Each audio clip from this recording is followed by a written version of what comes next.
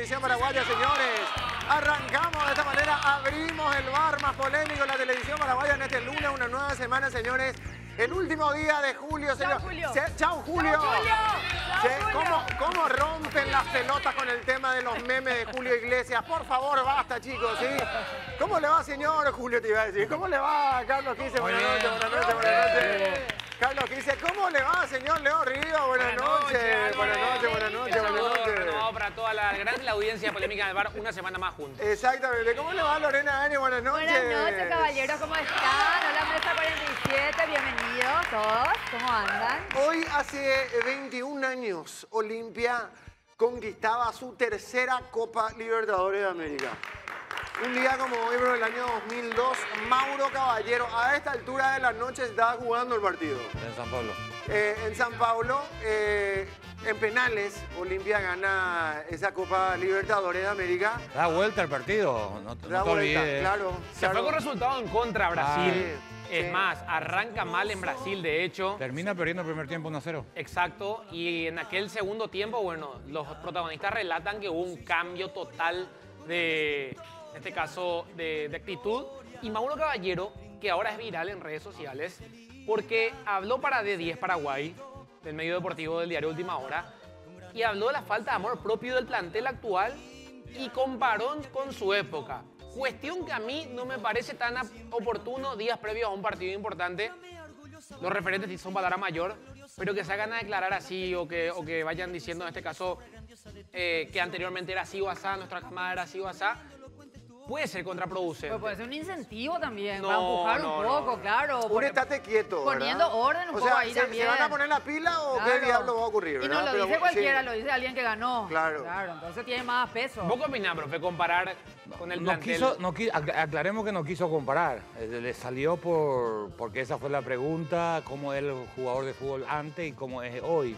Y que cambió un poquito lo del corazón, de, ese enfoque le dio. Pero no le puede, al contrario, si hoy no tenés ese enfoque, qué mejor que te diga un referente para retarte y vos decís, le voy, a, le voy a tapar la boca a este muchacho. Si vos tenés que tomarte esos desafíos para vencer las barreras. Olimpia, o el jugador de Olimpia tiene que saber que técnicamente es inferior que Flamengo. Pero la, única la única chance que tiene es desafiarse a sí mismo de hacer su mejor partido. Pero sabes que hoy hay más fragilidades mentales también. Correcto. Eh, hoy, hoy por hoy Eso es han cierto. cambiado los tiempos y, y la Sí, salud hay- mental, hay- propiamente hay- para los jugadores de Olimpia, que donde gana a Trinidense el sábado de Encarnación. Bueno, o sea, pero le puede tratar como una, como una criatura tampoco. O sea, tiene O que sea, darle pero no, es no solamente eso. Olimpia no le gana, no, es que no le ganó a Trinidense, no, no le ganó a nadie. O sea, Claro. Así es. Falta O sea, una no sacudida, No, no es solamente, obvio. no es solamente Sí. a, a- a Trinidense. Pero bueno, 21 años de, de esa Copa Libertadores de América. Hacía, yo recuerdo perfectamente, y los tiempos cambian, evidentemente que cambian los tiempos, porque Ese, hace por ejemplo- 21 años hacía un frío terrible el frío aquí en, en Asunción. antes hacía frío. recuerdo, recuerdo perfectamente. Es más, eh, está bien, estamos hablando de invi- del invierno. Sí. Pero ahora resulta que aquí también, eh, hoy día en, en el invierno, tenemos calor. Ese, 30 grados. ese era, Bueno, y sí. ese era un plantel que estaba peleado con Osvaldo hasta ahora antes del partido. Sí. ¿Entendés? Y un- hubo una reacción de si, si había algo que destacar de ese grupo era la fortaleza mental que tenía dentro de la cancha. Yo muchas veces le pregunté a los integrantes de ese grupo cómo hicieron, qué pasó, porque todo el mundo creía que estaban peleados. Y la verdad, no había una gran relación fuera de la cancha, tenían su grupo, pero una vez que entraban en la cancha Pero tiraban eso todo. se llama respeto a la institución. Claro, Saca. por eso te digo, Claro, hay que respetar la institución. es para, era, era para Sí. destacar la fortaleza mental de, de ese grupo. Osvaldo llegó a las 7 de la tarde, no fue con el plantel, se fue a las 7, las 8 del día previo al partido y Osvaldo tiene su, su liderazgo indudablemente. ¿no? Y eh, recordamos, o recordemos que ese partido eh, empieza perdiendo Olimpia, da vuelta Olimpia con goles de Gastón Córdoba y de Richard Báez, que prácticamente eh, salta. Fue, fue increíble porque... A lo eh, Mora. a lo Mora, sí, discúlpame. Ay. Pero cabecea... Eh, eh, vos sabés que es muy loco, fue, porque el, el cabezazo medio con el, con el hombro también. Ahí a- Sí. a- O sea, acompañó. y va eh, la pelota arriba y bueno, y eh, eh, para, para gracia de Olimpia, bueno, eh, esa pelota va a- adentro y después van a, los- a los penales y ahí, bueno, eh, ahí estábamos recordando el, el último penal de Mauro Caballero. Bueno, señores, atención, arrancamos, arranca polémica en el bar Paraguay, señores, por favor. Tenemos nosotros el material, está el material, por favor, de lo que dijo el presidente Electo. Santiago Peña. Adelante, por favor, con el material, adelante. Hablamos sobre, eh, y senadores y senadoras hablaban de que había muchas instituciones que no cumplían objetivos, que eran redundantes. Y yo justamente tomé de ejemplo la Secretaría Anticorrupción que fue creada por el presidente Federico Franco, ¿verdad? En el año 2012, pero que a lo largo de una década es una institución débil, es una institución que no tiene marco legal, es una institución que cuenta con menos de 20 funcionarios que son eh, comisionados de otras instituciones y que nosotros tenemos que poner sobre las instituciones que tienen una fortaleza institucional, que tienen un mandato constitucional y que tienen una responsabilidad administrativa, me refiero particularmente a la Contraloría General de la República, y el Poder Ejecutivo ya tiene un órgano que es la auditoría del Poder Ejecutivo. Entonces, veíamos una redundancia, obviamente esto bajo ninguna circunstancia y no, aguanta el mínimo análisis pensar que con eso nosotros vamos a perder el brazo ejecutor de la política anticorrupción del Estado, porque en una década la Secretaría Anticorrupción no ha descubierto absolutamente ningún caso de corrupción. Entonces, fue un claro ejemplo de cómo muchas veces creamos instituciones, muchas veces para ubicarle a una persona, pero que no tiene ningún objetivo. ¿Va a suprimirse finalmente esto después del 15 de agosto? Entonces, y es parte de lo que estamos discutiendo. Hay también un proyecto que está trabajando el actual Poder Ejecutivo de una reorganización del Poder Ejecutivo, ¿verdad? Entonces, esos son temas que están ahí. Estos no son inventos míos, estos son temas que se vienen discutiendo, analizando. En los últimos 20 años o 30 años de la Constitución del 92, el Estado paraguayo ha crecido y muchas veces ese crecimiento ha sido desordenado, ¿verdad? Y eso genera multiplicidad de funciones y finalmente nadie hace lo que tiene que la hacer. decisión ya está tomada, entonces. ¿Alguna otra institución? La, la visión, la visión está tomada, reorganizar el Estado, un Estado ágil, moderno, al servicio Bueno, ahí teníamos lo que decía el presidente electo Santiago Peña con relación a esto. ¿Y, y por qué queríamos pasar este material? Porque muchas veces un título eh, te puede sonar diferente a lo que realmente se dijo o cuál es la idea El central contexto de toda la todo esto, ¿verdad? ¿verdad? Porque Sí. dice, bueno, Santiago Peña evalúa eliminar la Secretaría Anticorrupción. Bueno, eh, es totalmente diferente a lo que explicó el presidente electo. Me parece que, que Ar- claro. Argumentó muy bien, porque si tener un- en, en un país co- conocido en el mundo como corrupto y tener un, un organismo anticorrupción con menos de 20 empleados y no tiene eh, rango constitucional, me parece medio al pedo. Acá hay otra cosa muy interesante que dice, que ya lo dijo su ministro de Hacienda, porque ha- hay que mejorar económicamente el país, que ellos quieren reducir el gasto del Sí, Estado, porque hay un mal gasto reconocido ya por el ministro de Hacienda, eh, Baldovino, de 1.800 millones de dólares. Lo que sí hay que decirle que todo este formato fue creado por el mismo partido y que ellos hicieron esto. Bueno, eso ya hicieron, hicieron mal. Si lo quieren corregir, bienvenido sea y ojalá se le permita corregir para tener un Estado eficiente, que eso significaría que estamos mejor. Pero aclaremos que el Estado es ineficiente más por el mismo partido, que es el que está en el gobierno, a excepción de los cuatro años de Lugo y un año de Franco. Entonces, si alguien quiere corregir eso, bienvenido sea, ¿no? Pues es que habla de redundancia nomás y, y de los funcionarios que van comisionados a esta, Ah, yo a odio, esta pero está institución. ya hablé o sea, muchas veces. claro, pues, eh, te- está bien, pero te huele luego a algo que no, no está funcionando bien. Huele Si, quemado. si esto se, se creó en el año 2012 Con, con Franco. eh, con, con Federico Federico Franco. Y esta institución nunca su- solucionó un episodio, No, un no, no. acto de corrupción, es porque está al pedo. Sí, ¿entendés? claro. O sea, eh, tienen 20, 20 funcionarios que van comisionados de otras instituciones. Entonces, bueno, eh, habla de redundancia. Por eso, eh, a- a- hablando un poquito de, de lo que se puede llegar a lograr el día de mañana, me parece que hay otras Y sí. instituciones que puedan funcionar o que pueden funcionar mucho Y mejor. si hablamos también de esa cuestión de reducción, sería bueno que después, bueno, ya en el presupuesto se pueda aplicar realmente en, inst- en instituciones que, que- que- que- que, bueno, con urgencia obviamente necesitan que- de una inyección en cuanto a capital para poder desarrollar políticas públicas. Es que tiene Ese que- fue el mensaje también de, de Peña, perdón, Sí. profe, que no se trata de suprimir, sino de unir a las instituciones que ya existen. Sí. Sí. Que Y sean son eficientes. 11 años, son 11 años de la creación de esta Secretaría Nacional Anticorrupción, en donde verdaderamente no ha ocurrido algo trascendente y no se ha trabajado. Entonces, son menos de 20 funcionarios los que están trabajando allí. Bueno, esta me parece que es una buena decisión. Sí. es que tiene que tiene que conseguir reducir para poder invertir, porque vos le escuchás al ministro de Interior, quiere presupuesto, el ministro de Educación quiere presupuesto. todos dijeron lo mismo. ¿entendés? ¿Y de dónde vas a sacar? El préstamo está eh, hasta ahí. Estamos hasta el Eh, estamos ahí al borde. Sí. Entonces, ¿qué hay que superar? El Producto Interno Bruto para bajar el porcentaje, pero también hay que reducir el gasto.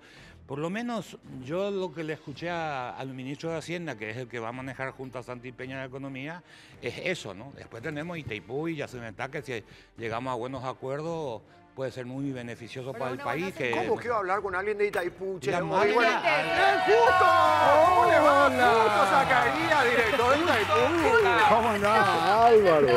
¿Cómo le va? Adelante, por favor, director de Itaipú, el director bienvenido. de Itaipú. ¿Cómo está, Adelante, Lorena? por favor. Muchas gracias. Justo que queríamos hablar. Hola, Carlos. ¿Cómo Adelante, por favor, adelante. Fuerte el aplauso para recibir al futuro director de Itaipú con nosotros, Justo Zacarías. ¡Justo! ¡Justo! Con la mente invocado. Se va Julio, pero vino justo. Qué Exactamente. Ahí está, Dios mío, otra vez. ¿Qué tal, director? ¿Cómo le va? Bien, bien, ¿Todo bien? Álvaro. Muchas gracias por invitarme a compartir con ustedes esta alegre mesa. Sí, por favor, muchas Eh, gracias, muchas gracias.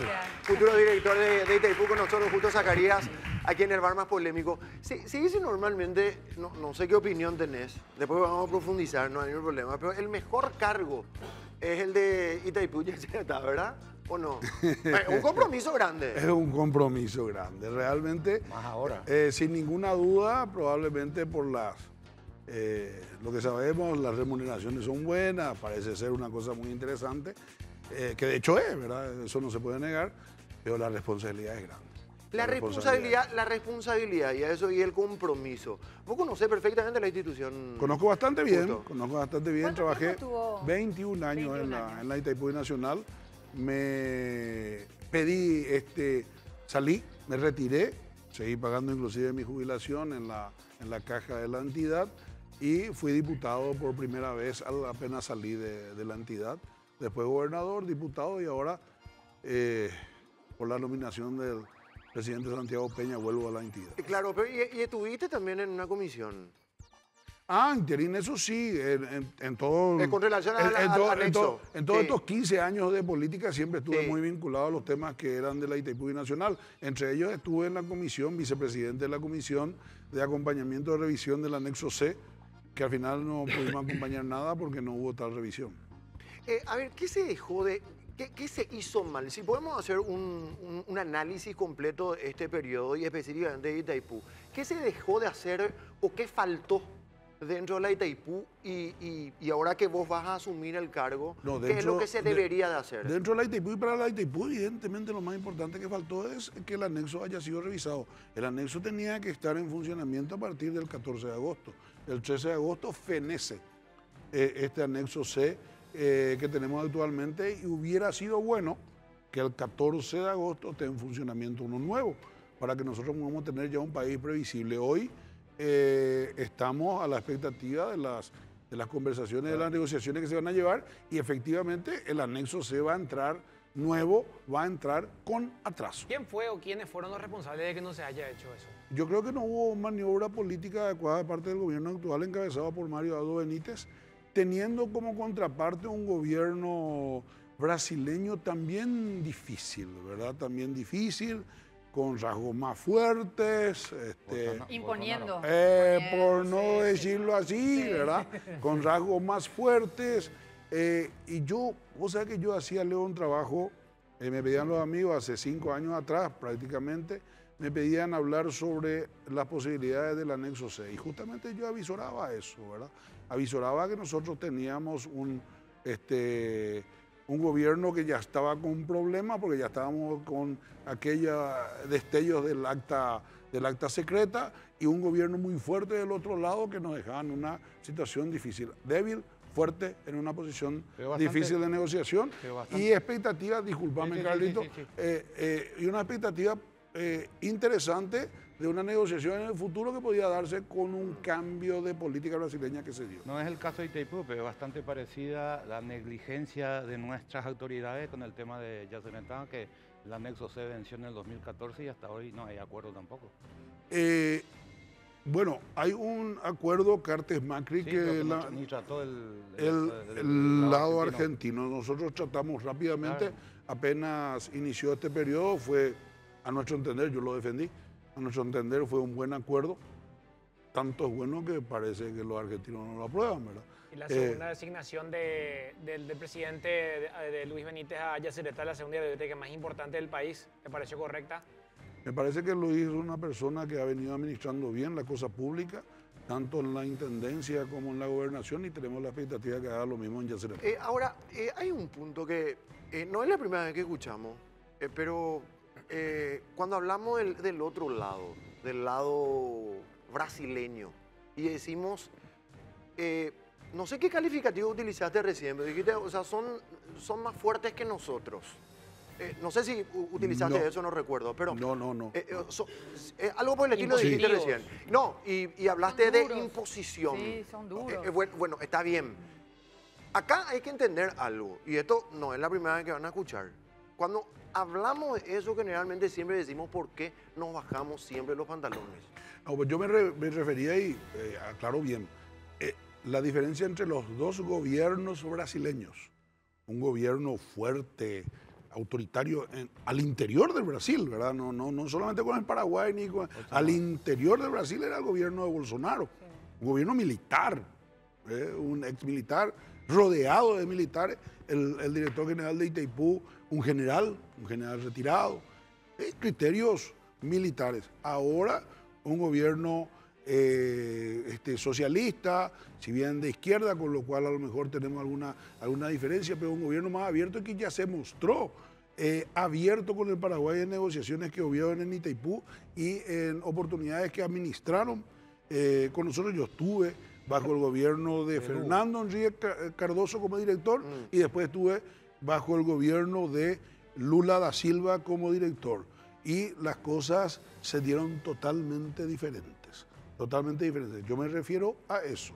Ellos no, duro con nosotros o no, ellos la- pueden ser lo que quieran, que nosotros no vamos a ceder un paso atrás. Ah, bueno, eso es importante Claro. saber. Sí, ¿Tenés claro. conocimiento, tenés conocimiento del acuerdo eh, Lugo-Lula, aquellos puntos que no se llevaron a cabo? Ah, ¿Y por qué? mucho, ¿Pero por qué? ¿Qué, qué pasó? Y para comenzar, Pero eso, hay, los, hay- hay- hay eh, gente de que los lo... 300 millones de dólares que nos dieron de más, pues, no de más, más justo para tratar de ser justo. Sí, Pero sí. Hubo otros acuerdos sumamente interesantes que, que después no se Ah. aplicó, como la venta de la energía. Si, si, si tuviese mi celular acá, porque lo tengo entre mis archivos guardados, este, fue un acuerdo de 21 puntos, donde creo que si uno o dos se llevaron a la práctica fue mucho. Eh, la liberación de la venta de energía, que la ANDE pueda vender en el Brasil, eh, un montón de cosas habían ahí, ahí, pero hay que entender una primera cosa. Mucha gente te vende ese documento como un acuerdo. Esa fue una firma de intención. Esa fue una firma de intención. Álvaro y yo firmamos una, un papelito acá sobre polémica en el bar. Nadie habla con ustedes, nadie le dice nada a ustedes, no está referendado, no está aprobado y, y se quiere imponer posteriormente como un acuerdo. Eso fue un, un, eh, una, un acta de intención entre los dos presidentes. ¿Y por qué? Un acuerdo tiene que pasar por el bien, Congreso. pero ¿por qué claro. se- ¿Y por qué se terminó pagando entonces a través de ese acuerdo? Eh, de, de 100, se, eh, nego- se, se negoció una nota, una nota reversal. Reversal. Tengo el honor de haber sido en Cámara de Diputados el que pidió que esa nota reversal sea tratada sobre tablas cuando ya había pasado el Senado brasileño, porque me pareció maravilloso. Lo felicité al presidente Lugo en aquella oportunidad, porque creo que es lo mejor que, que ha conseguido en, eh, este, en la negociación entre Paraguay y Brasil. Fuimos a Brasilia a, a pedir un tratamiento rápido en una delegación parlamentaria. Gracias a Dios eso también, eso también se, se dio y fue el único punto que trató, que, se salió, como te digo, de un acuerdo entre dos presidentes, una carta de intención. Ahora, con todo tu conocimiento de Itaipú, Itaipú conseguía bajar la deuda a 2 mil millones de dólares, manteniendo el precio hasta hoy que pagó Brasil y Paraguay, que ya no se está dando, pues ya bajaron. No nos va a quedar mil millones de dólares como si se mantenía nos hubiera quedado, porque mil millones pagaba Paraguay y mil millones Brasil. Yo creo que todos hubiéramos preferido que se mantenga el precio, Claro. el precio de la tarifa, ¿verdad? Eh, este, nosotros apenas nos sentemos, una de las primeras negociaciones que vamos a tener que hacer es la negociación al respecto de la tarifa. Pero con ¿verdad? esta baja que ya se dio, eh, Pero lógico, quedaría Juan. 400 Y- millones Y, más digamos, Pero ¿cuál es la idea, hablando en términos futbolísticos, comenzamos perdiendo 2 a 0 por, Por- lo por eso te menos, pregunto, Carlos. Estamos, dar claro. vuelta Y esto va a partido. ser un resultado mentiroso igual. Pero, pero ahora, lo, lo primero que ustedes van a hacer el día de mañana, eh, después podemos hablar de la, de la relación, porque mencionaste otros presidentes, inclusive el, el propio nuevo presidente de Brasil, Lula. eh, Lula. Eh, entonces sería bueno eh, planificar un poco y, y ver cómo, cómo funcionó cuando estuvo Lula ahí. Me parece que fue mejor la relación. No, no sé, eh, te pregunto. Yo, te, yo, yo como te Sí. dije, tengo la suerte de haber sido director bajo el gobierno de Fernando Enrique, que no era un gobierno así, militar como Bolsonaro, pero ahora un gobierno más de centro, centro izquierda, no tan izquierda como Fernando Lula, eh, como Lula Luis. Ignacio Lula da Silva, ¿verdad? Eh, y era un poco más difícil. ¿Qué pasaba? ¿Qué- qué era difícil con quién es, justo? Más difícil porque, te explico. Sí. Veían a la Itaipú como una generadora de energía. Mm. Punto. Terminó. Cuando nosotros nos sentamos a conversar con los directores este, nominados por el presidente Lula, comenzaron, comenzamos a verle a la Itaipú como una generadora de energía que genera desarrollo socioambiental, turístico, infraestructura para el. Paraguay y Brasil. Y comenzó, y ahí nacieron los conocidos hoy como gastos sociales de Itaipú. Entonces era, la, la rela- la relación era buena en ese La momento. relación fue muy buena. Eh, eh, y ahora, ¿cómo crees que.? O sea, no, tenemos la creo- lámpara. yo- ¿verdad? yo- La- yo creo pero, que- ¿Cómo encarar, Eh, Yo- pero yo Claro. creo que la relación, uno ya se da cuenta, ¿verdad? El presidente Santiago Peña se reunió en tres oportunidades en 15 días. Dentro de 15 días se vuelve a encontrar de vuelta acá el 15 de agosto con el presidente Lula. El presidente Lula, tengo la información de bastidores que se infiltró por aquí, por allá, etcétera, para poder recibirlo el viernes porque está con unos dolores de cadera intensos que tiene que operarse. Eh, entonces eso muestra que la cosa va bien, hay interés.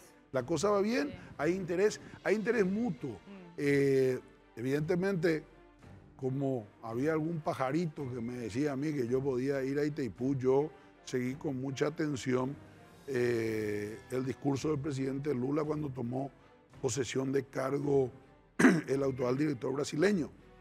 Y las palabras que él dijo eh, eh, encantan al oído de cualquier paraguayo. Él habló de desarrollo, habló de asistencia social, habló de mejoría de infraestructura, habló de, habló de una Itaipú abierta a la gente, en fin, todo lo que queríamos escuchar. El presidente Peña habla de la misma manera. Eh, queremos una Itaipú que impulse realmente el desarrollo de Paraguay y Brasil y que trabajemos juntos en eso. Entonces, yo creo que hay coincidencia. El presidente Peña le puso un- una, una, una- una guinda más a esa torta del desarrollo. Hagamos un acuerdo que nos recuerden por 50 años. Ese es nuestro desafío. Que dentro de 50 años digan la gente qué bien que hicieron. Entonces, ese desafío le lanzó y el presidente Lula tomó ese desafío. Que no nos acordemos de lo que pasó en el 86, por ejemplo, que le bajamos la tarifa y ahí se genera la gran deuda. La deuda espuria. Como podríamos acordarnos, el gobierno de Nicanor, que él, el interés sobre interés se consiguió Se, sacar. se rescató y nadie ni siente ni sabe. Claro, pero- pero porque yo también, yo también estuve en ese, yo fui director en el gobierno de Nicanor, también estuve este, tangencialmente en esa negociación porque estaba más con la dirección financiera y la dirección general, eh, pero eso nadie sabe que significó 100 millones de dólares más al año para el Paraguay. Todos queremos que de aquí a 50 años claramente la realidad de nuestro país en todos los aspectos sea diferente y, y- y- pueda mejorar. Ahora justo con este cargo sumamente importante que vas a tomar, no pensando en 50 años, pero sí en, en este periodo. ¿Cuáles son los objetivos barra desafíos que, que te gustaría lograr en Itaipú como director? Yo quiero basar mi gestión en tres ejes, por lo menos así lo he pensado, pero lo tendríamos que ir dialogando y ir perfeccionando con el correr del tiempo, de los días, con la gente, con, con el Poder Ejecutivo, con el presidente, con los ministros. Porque hay que, hay que acordarse que Itaipú es una entidad medio eh, transversal, porque per se ella no es Ministerio de Salud, no es Ministerio de Educación, no es Ministerio de Obras Públicas. Entonces yo me tracé tres ejes de gestión. El primero, que no hay que olvidar, porque muchas veces nos olvidamos que Itaipú es una generadora de energía. Entonces el primer eje de mi gestión, seguir teniendo la Itaipú como la mayor y mejor generadora de energía hidroeléctrica del mundo. Mayor y mejor. El segundo eje, eh, aquello que conocemos como gastos sociales, que ahora se incrementan por la tarifa, la deuda pagada, etcétera, etcétera, invertirlos eficiente y coordinadamente con el Poder Ejecutivo, con este, las diversas entidades encargadas de cada tema. No decidir yo dónde va a ir una escuela, dónde va a ir un puesto de salud, dónde va a ir un empedrado, dónde va a ir un asfaltado. Insertémonos en el programa, en el planeamiento y en el ordenamiento que el presidente de la República con el equipo de, ministros este, diseñe de tal forma que esos gastos tengan realmente resultados. Y tercero, discúlpame Álvaro, y tercero es el tema de ser un sustento eficiente para que la negociación del anexo C sea un, tenga un resultado eh, que todos esperamos, el mejor posible. Porque si lo bien lo va a llevar adelante el presidente Peña, con el presidente Lula, ellos mismos dijeron que ellos van a llevar adelante esto, nosotros seguramente seremos un sustento eh, técnico de información, de vinculación primaria allá en la, en la central y queremos ser en ese tema lo más eficiente posible. Eh, aquí me envía, eh, quería compartir con usted, que me parece importante, el diputado Espínola, Mauri, Mauri Espínola, envía esto que es importante. Dice, Comisión de Entes Binacionales Hidroeléctricos reunión de comisión que va a ser el día de mañana. Y seguramente, tu señora seguramente está al tanto de esto. Mañana, 1 de agosto, a las 10 de la mañana, va a ser eh, lugar Salón VIP, quinto piso, y dice tema, renegociación del anexo C del Tratado de Itaipú. Me parece excelente. Me parece que tengo entendido que Mauri es presidente de esa comisión eh, y deben estar, por lo que estoy sintiendo, ya preocupados con el tema de la renegociación y van a formar algo parecido a lo que formamos nosotros en el periodo pasado y no pudimos acompañar nada. Eh, está perfecto, perfecto. Que, se involucre. Que, se involucre. Sí, él, es el presidente de la comisión, que, que diputado nacional Perfecto, enhorabuena, enhorabuena. Mucha gente dice que no solo hay que negociar el anexo C, sino parte del tratado por cómo está constituido el tratado sobre todo ahora que terminó la deuda, porque dice que Itaipú no debería generar ganancias. Sí, el tratado dice eso específicamente y podría cambiar. Podría cambiar. podría cambiar, depende de cómo lo... vas a disfrazar en gastos sociales. Eh, claro, eh, podríamos tener un montón de gastos sociales, seguir sin ganar, o podés eh, tener un ingreso y ver dónde lo, dónde lo invertir, porque va a, seguir, a seguir invirtiendo, siempre va a ser dinero público va a seguir invirtiendo ya de, alguna manera. Hay varias ideas, Carlos, varias ideas. Eh, yo creo que lo que nosotros tenemos que tener primero, el primer norte es que maximicemos eh, las posibilidades. Coste que eh, tengo que aclarar también que el presidente Peña deja muy clara una posición. Nosotros no solo queremos de la negociación ni de la ITIPU renta, queremos posibilidades de desarrollo si la Itaipú puede ver este, formas mejores de impulsar la industrialización del país, pues enhorabuena, a lo mejor que no venga dinero, pero que venga la industrialización, decir que eh, generar más energía, etcétera, etcétera. Y ahora recién podemos usar toda la energía, porque una se de las terminó, cosas sí, señor. Itaipú nunca hizo, que es muy difícil explicar, porque nunca se hizo las líneas de transmisiones 500 kb, que recién ahora se terminó también.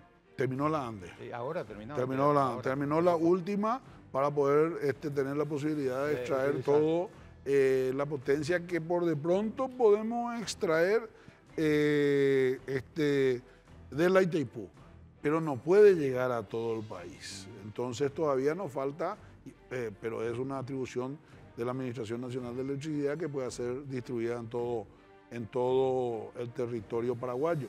Otra cosa negociada en aquella oportunidad, hay que reconocer, del gobierno Nicanor Duarte Frutos, fue el tema de la construcción de la línea de 500, ¿verdad? que se hizo a través del FOSEN pero fue una cuestión que fue tramitada al interior ahí con Itaipú y compañía. Esa Se pensó que- que, esa- venga esa- Itaipú, esa es la que después vino por el Fosel. Esa es la que terminó. luego No, no, no, no, esa ya, esta ya es más antigua, la que eh, llega a Villa Ayes. ¿Cuántos funcionarios tiene hoy Itaipú? Tiene alrededor de 1.700, 1.800 funcionarios directos. Directos. Directos, directos. Tiene algunos funcionarios contratados, tiene algunos aprendices que le llaman que entran por dos o tres años y cumplen funciones de Hay aprendizaje, concursos se todos los preparan. años para... Hay concursos, Para ahora ingresar. hubo muy, uno muy polémico, acabó de terminar, Sí. ¿verdad? Hay concursos todos los años para ingresar, que eso yo creo que va, va a ir disminuyendo, porque así como comenzó Itaipú, comenzó allá por los años eh, 70 y pico, inicio de los 80, y ahí brum, se cargó. Así también todos juntos este, se jubilan. Entonces ahí hay mucho espacio para concurso, pero después ya va, va habiendo un espacio un poco más este, normal y paulatino. Yo creo que vamos a llegar en algunos años a que tengamos 40, 50, 60 eh, jubilaciones y este, ingresos por año. ¿La idea es mantener esos funcionarios o aumentar más? No, no, no. No hay necesidad. No, ¿verdad? no. La No, se Itaipú- habla- la- siempre se habla de la cantidad de No, funcionarios, no. ¿verdad? No, no, no la- solamente en Itaipú, en la Itaipú, la. Itaipú tiene una resolución antigua, si me pedí la fecha no te la sé dar, pero eh, tiene una resolución del Consejo de Administración donde determina el número de personal por área, por lugar, Paraguay, Brasil. Los brasileños tienen un una limitación en 1.500 funcionarios, nosotros tenemos en la Itaipú, Paraguay, una limitación de 1.850 funcionarios. Tenemos 350 funcionarios más porque en el Paraguay se tienen alrededor de casi 100.000 hectáreas de reservas naturales que el Brasil no tiene. Ahora, Cajuy, con todo lo que se afanaron en su momento, su inversión mal hecha en Canadá, ¿cómo está hoy día? Hace unos días, Mm. unos días, eh, el Consejo de Administración aprobó un nuevo sistema de jubilación. eh, se llama, eh, uno es de pago definido, otro es de pago indefinido, donde los nuevos jubilados van a poner su aporte, la entidad también va a poner su aporte y ellos van a, este, a jubilarse como si tuviesen una caja de ahorro. Llega el tiempo de su jubilación, su caja de ahorro les rindió y comienzan a recibir conforme esa caja de ahorro. Con ese tema y otras modificaciones que se hicieron, eh, la caja ¿Ustedes de jubilaciones eh, eh, está ¿cuándo saneada. Eh, esta- entra, esta entra en Ahora. vigencia desde el primero de enero de Del 2024. De 2024. Fue una negociación que se llevó adelante ahora en esta administración. Yo solo tengo la información, ¿verdad? No, tu- no tuvimos ninguna incidencia, pero eh, por lo que nos mostraron algunos amigos con quienes tenemos contacto, con eso la caja de jubilaciones A futuro. consiguió su equilibrio. A futuro. Sí. Eh, ¿Quién es el director de la obra brasileño, Puto? Enio Berri. ¿Y ya te reuniste con él o no? Yo me encontré con él ya en una oportunidad, ya tuvimos ocasión de eh, tener una, una charla coloquial, nada técnico todavía, nada de trabajo. Claro. Eh, ahí va a entrar eh, en la, en la- la cintura de, de Justo Zacarías y ante la cintura del brasileño. Así, así es. Eh, como, como, como ya te dije, tenemos mucha, muy buena expectativa al respecto eh, de la situación. Como te dije, cono- conocí lo que es trabajar con otro tipo de gerencia y conocí lo que es trabajar con la gerencia eh, de los amigos paranaenses, porque son varios, son de, de Paraná, del estado de Paraná, Brasil. este, nominados por el presidente Lula. Tengo una expectativa muy positiva al respecto. Si bien Álvaro. el anuncio fue hace unos días nada más el presidente, ¿cuándo especi- específicamente te llamó el presidente para, para de- asignarte el cargo? Ya se sabía hace rato eso. Sí, acá- Había- No, pero Sí, la, señora. la Yo- diputada yo- yo Rocío te- Abel yo- no- ella- pero ella no te contó. No, estaba inocente. diciendo, dijo, No no, vaya a ser inocente. Por favor, Dios mío. Yo le creo a la diputada Pero, Rocío Abel. vos sos, vos muy inocente, niño. Vos sos- se sabía justo antes de que Santiago Peña gane la elección, ya se sabía que justo Zacarías iba a ser el director de Itaipú. Te confirmó Claro. la señora y todo acá. Acá ya, ya confirmó. No, la verdad, la verdad, Leo, siempre lo hablábamos con el señor presidente, desde años hablábamos sobre muchos temas y por supuesto uno de los temas que hablábamos era de Itaipú y Nacional. En la conversación uno sentía alguna cosa, ¿verdad? Decir, decir, decir realmente, eh, este, yo lo vi con usted, ese fue el decir, pero lo sentíamos con mucha, fuerte. con mucha fuerza, con mucha, con mucha certeza. Le decía a otros amigos inclusive, ¿verdad? Le- Sabía antes la elección. le, le- le decía, le decía a otro amigo, sí, no te claro, claro. a nada, no, pero sabía, pero mientras, mie- mientras, la, mientras la lista de los jugadores no está convencionada, no, Claro, no está convencionada, ¿verdad? El Ahora técnico, está. Ahora sí, ahora el sí. técnico se puede volver loco y te Sí. saca la lengua, pues. ¿A, a cuánto le sacaste a última hora? vos? Eh. Ahora, un tema delicado, a lo mejor para vos, pero tengo que preguntarte, eh, esta crítica que aparece en los medios, ¿querés responder o no a tu gestión anterior? Mira, yo voy a, voy a responder con mi gestión futura más que nada. Tengo la suerte de haber hecho una gestión eh, en el pasado, eh, juzgada y aprobada por el Tribunal de Cuentas todos los años. Y eh, hoy tengo también la felicidad, porque realmente me da una enorme felicidad, que después de que yo haya sido nominado, inclusive un poco antes, 19 intendentes de Alto Paraná de los 22 distritos hayan firmado un apoyo a mi eventual nominación. Eh, también 20 juntas municipales hayan declarado de interés distrital mi nominación como eh, director general de la Itaipú. Eh, acaso se dé por el presidente de, la República, donde hay colorados, liberales y otros partidos políticos. Hay intendentes de Patria Querida, hay intendentes del Partido Liberal. ¿Por qué eso? Porque nosotros hemos trabajado juntos cuando yo fui gobernador. Eh, esa fue la ¿Quedan, semilla. disculpame, pero ¿quedan todavía intendentes de otro partido en este país? No, nosotros tenemos 13 intendentes colorados de los 22, 9 son de otro partido. 13 ahí en, en Alto 13 Paraná. colorados, 9 de otros partidos.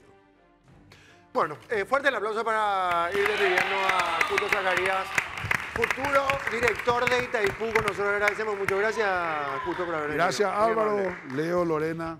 Un placer, Carlos, haber estado con ustedes. Igualmente, Gracias. igualmente. Fuerte el aplauso para Cuto. Sí, director de Itaipú, el cargo que todos quieren.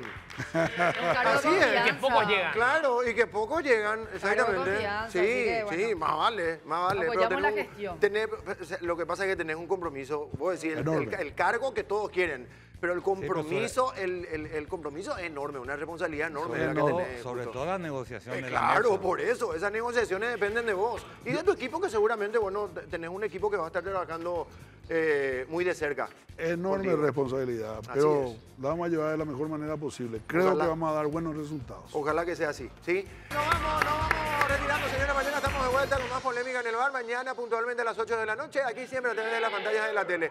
Que pasen súper bien. Gracias, 47. Gracias a todos ustedes. Muy amables. Chao, chao.